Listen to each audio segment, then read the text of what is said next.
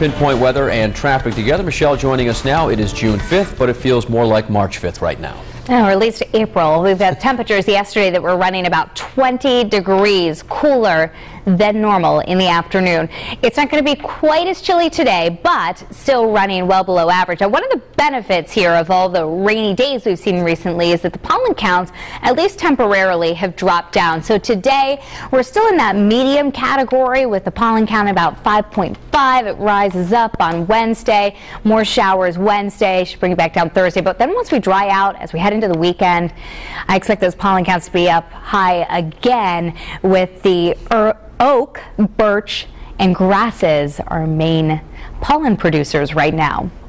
Radar over Rhode Island and southeastern Mass showing some of these scattered showers that are still coming in from that flow out over the ocean waters. This is a disturbance that brought us the rain and the wind yesterday, slowly drifting away. We're going to take a baby step towards an improving conditions for the day today. Live city cam overcast skies, a little mist and drizzle, about 50 degrees in Providence right now. North winds at 8, humidity 87%. It's chilly. It's 48 degrees in Smithfield, 52 New Bedford, about 52 in Westerly. And you factor in even a little bit of the wind and the wind chill mostly in the 40s this morning. In fact, mid to upper 40s in most of Rhode Island. That's what you need to dress the kids for at the bus stop. That along with maybe a passing shower or some mist or another day with the raincoat handy. 48 to 53 as we head into the afternoon. Lots of clouds around. I think still a damp feel, but there shouldn't be a lot in the way of showers or drizzle.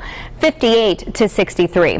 Futurecast shows some of those showers at 8 o'clock in the morning, and then notice there's a you know, nice lull in the afternoon. I think a little spritz here of mist or sprinkles 3 o'clock in the afternoon and lots of clouds around. And the temperatures are going to be cool and maybe a passing shower through the evening and nighttime hours tonight. Wednesday, more scattered showers developing during the day. I don't think it's a washout, maybe not quite as bad as this Futurecast model shows it, but still unsettled and still cooler than normal.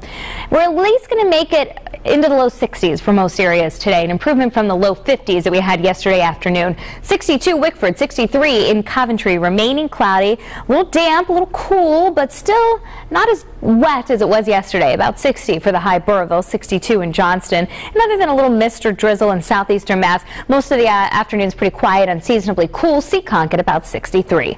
On the bay today, small craft advisory was dropped. High tides at 9 this morning, low tide at about 2.30 this afternoon.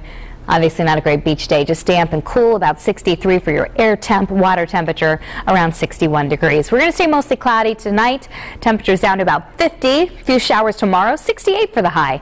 We should be in the mid 70s Thursday and Friday. There's still at least a small chance of a pop-up shower or thunderstorm, especially Thursday. And then the weekend's looking warm, close to 80 to 82 both days and just a small chance of maybe an isolated shower or thunderstorm Saturday evening or night. But it looks like the most, the majority of the weekend will be